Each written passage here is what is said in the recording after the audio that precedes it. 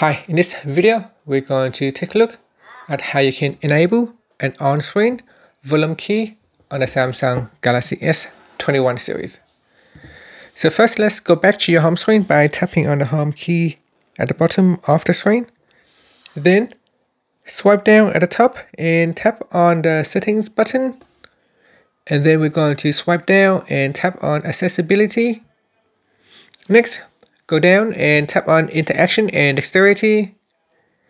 And you want to go down and tap on assistant menu.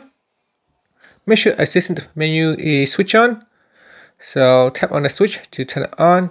You can also um, switch it on from the interaction and dexterity uh, settings page. Now once it is switched on you should see a circle icon looks like this and that is the assistant menu. And you can tap on it to show the menu. Once the menu appears on the screen you can tap on the volume key. So this is the on-screen volume key. And you can adjust your device volume without having to use the actual physical buttons. And that's it. So now if this assistant menu feels like it is in the way of the screen you can actually also uh, move it to the edge of your uh, screen. So if you go back into settings, tap on accessibility, interaction and dexterity, tap on assistant menu. And down here, you want to tap on show as edge icon.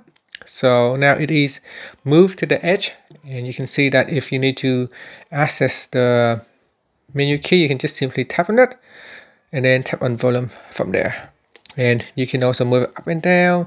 You can also make it so that it is um, very high transparent uh, so that um, you do not so that it so that it's not very visible to the eye.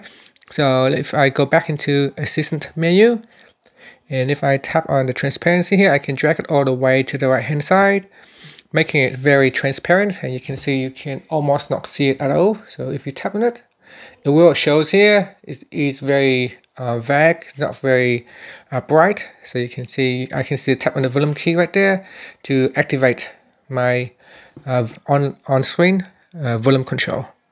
And that's it. Thank you for watching this video. Please subscribe to my channel for more videos.